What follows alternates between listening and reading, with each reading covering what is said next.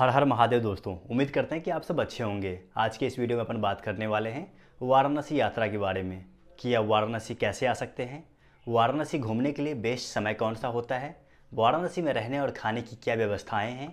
और बाबा विश्वनाथ के दर्शन के बाद बनारस में वो कौन कौन सी जगहें हैं, जिसको आप एक्सप्लोर कर सकते हैं?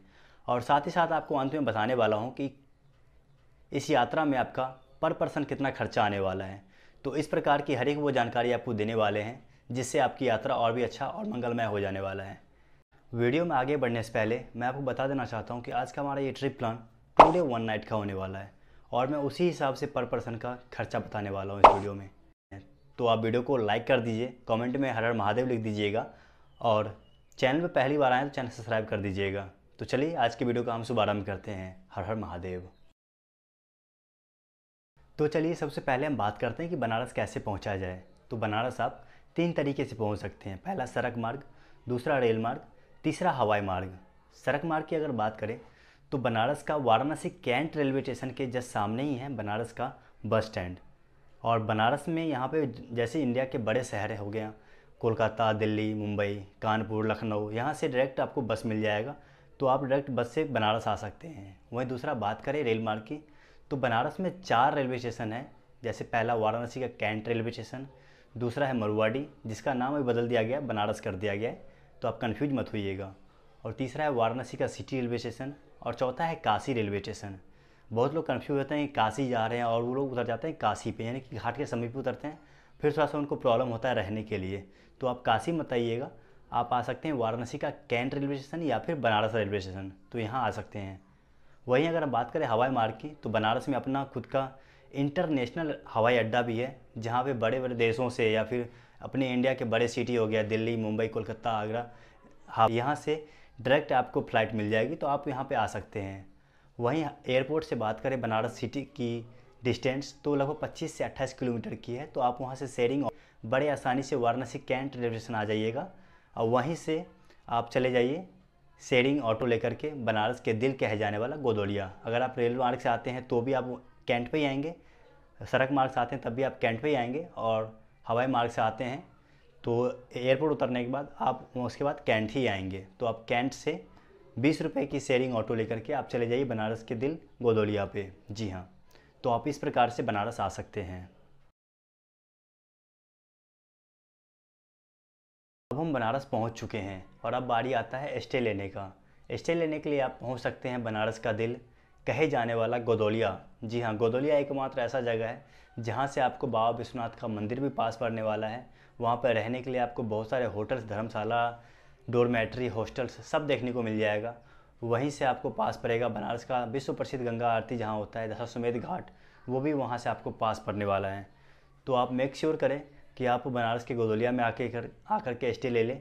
अगर आप थोड़ा सा लग्जूरियस टाइप से रहना पसंद करते हैं तो आप जा सकते हैं बनारस के कैंट एरिया में, जहाँ पे आपको बहुत ही लग्जूरियस होटल्स देखने को मिल जाएगा। In fact three star four star five star सब देखने को मिल जाएगा। ताज होटल भी आपको वहीं पे देखने को मिलेगा तो आप वहाँ जाके रह सकते हैं। तो चलिए अब हम बात करते हैं कि आप यहाँ पे कितने प्रकार से रह सकते हैं और यहाँ का रेंट कितना होने वाला है। सबसे पहले हम बात करते हैं धर्मशाला की। तो धर्मशाला आपका सौ, डेढ़ सौ, दो सौ इनफैक्ट तीन सौ तक आपका हो जाएगा। वहीं बात करें होटल की तो होटल आपको हज़ार से पंद्रह सौ तक मिलने वाला है। वहीं डोर डोरमेट्री की बात करें तो आपका तीन सौ से लेकर पाँच सौ तक डोर डोरमेट्री और हॉस्टल मिल जाने वाला है। तो आप इस प्रकार से यहाँ पे स्टे ले सकते हैं।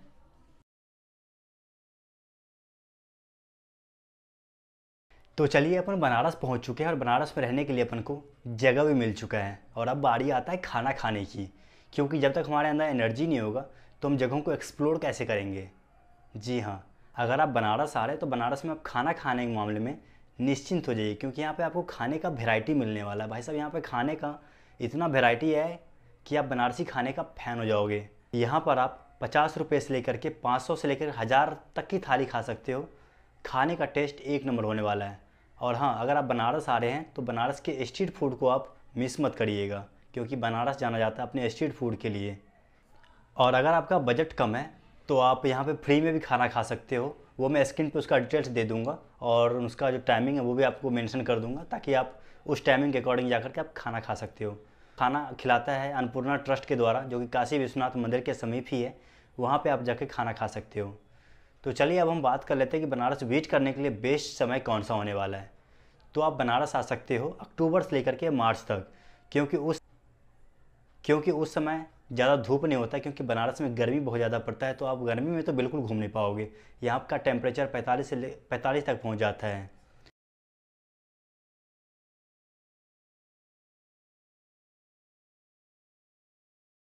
तो चलिए अब हम बात करते हैं कि आप बनारस को किस प्रकार से एक्सप्लोर कर सकते हैं। अगर हम डे वन की बात करें तो अपने दिन की शुरुआत बनारस में होने वाली अस्सी घाट पे सुबह बनारस की आरती से कर सकते हैं। जी हाँ सुबह पाँच बजे होती है ये सुबह बनारस की आरती। आप उस टाइम जाइए, वहाँ पे आरती अटेंड करिए। आप वहाँ पे बनारस की बहुत ही खूबसूरत सनराइज़ को देख पाएँगे और साथ ही साथ वहाँ पे जो कल, कुछ कल्चरल प्रोग्राम होता है तो आप उसका भी आनंद ले सकते हैं। और उसके बाद आप थोड़ा सा घाट वॉक करिए, आपको काफ़ी सुकून की अनुभूति होगा। देन उसके बाद आप जा सकते हैं बोट राइड करके दशाश्वमेध घाट पर, जहाँ पर आप स्नान ध्यान करिए। और हाँ बोट वाले भैया आपको सौ रुपये में अस्सी घाट से दशाश्वमेध घाट तक आपको ड्रॉप कर देंगे। वहाँ पे दशाश्वमेध घाट पर आप जाके स्नान ध्यान करिए। उसके उपरांत आप जा सकते हैं बाबा विश्वनाथ के दर्शन के लिए। विश्वनाथ दर्शन के लिए आप चाहे तो आप गोदौलिया वाला जो रास्ता है, पुराना वाला, आप वो गली के माध्यम से भी जा सकते हैं, या फिर चाहे तो आप जो नया कॉरिडोर बना है, उसके माध्यम से आप जा सकते हैं। तो आप जो मणिकर्णिका वाला, मणिकर्णिका घाट है, उसके जस्ट बगल में है गंगा द्वार, आप उसके थ्रू आप अंदर जा सकते हैं और दर्शन कर सकते हैं। मंदिर से महज तीन किलोमीटर दूरी पर है बाबा काल भैरव का मंदिर। आप वहाँ दर्शन करना मत भूलिएगा, क्योंकि कहा बाबा काल भैरव को काशी का कोतवाल मानते हैं। कहते हैं कि उनके मर्ज़ी के बिना ना तो कोई बनारस आ सकता है और ना तो उनके मर्ज़ी के बिना बनारस से बाहर जा सकता है। तो आप वहाँ दर्शन ज़रूर करिएगा। वहाँ दर्शन नहीं करते हैं तो आपकी यात्रा अधूरी मानी जाएगी। उसके बाद आप जा सकते हैं बनारस के दुर्गा कुंड स्थित दुर्गा माता मंदिर में। आप उनको एक्सप्लोर करना मत भूलिएगा, वहाँ दर्शन करना मत भूलिएगा, क्योंकि बहुत ही प्राचीन मंदिर है। उस मंदिर के जस्ट बगल में ही है मानस मंदिर। जी हाँ तुलसी मानस मंदिर। वहाँ पे आप देख पाएँगे कि पूरे दीवार पे, मंदिर के दीवारों पे, रामचरित मानस के पूरे श्लोक वहाँ पे वर्णन किया गया है उस दीवारों पे। उस मंदिर के जस्ट पास में ही है संकट मोचन मंदिर। जी हाँ संकट मोचन मंदिर। कहा जाता है कि इसी जगह पर तुलसीदास जी को हनुमान जी ने दर्शन दिया था। तो आप वहाँ एक्सप्लोर करिए। उसके बाद आप जा सकते हैं बनारस के बी जी हाँ बी बनारस हिंदू यूनिवर्सिटी। उसके अंदर है बाबा विश्वनाथ का मंदिर, जिसे हम नया नया विश्वनाथ मंदिर के नाम से जानते हैं और उसे बिरला मंदिर के नाम से भी जानते हैं। तो आप जा कर के वहाँ पे एक्सप्लोर करिए और इतना ही करते करते आपका शाम हो जाएगा तो आप आ जाइए दशाश्वमेध घाट पे वापस। वहाँ पे कुछ थोड़ा सा घाट वॉक करिए, घाट को एक्सप्लोर करिए। उसके बाद आप अटेंड कर सकते हैं गंगा आरती में। गंगा आरती आप दो तरीके से अटेंड कर सकते हैं। एक तो बोट में बैठ करके सामने गंगा जी में और एक तो घाट पे बैठ करके आप अटेंड कर सकते हैं। और हाँ थोड़ा पहले जाइएगा घाट पे क्योंकि बहुत ज़्यादा भीड़ हो जाता है गंगा आरती में।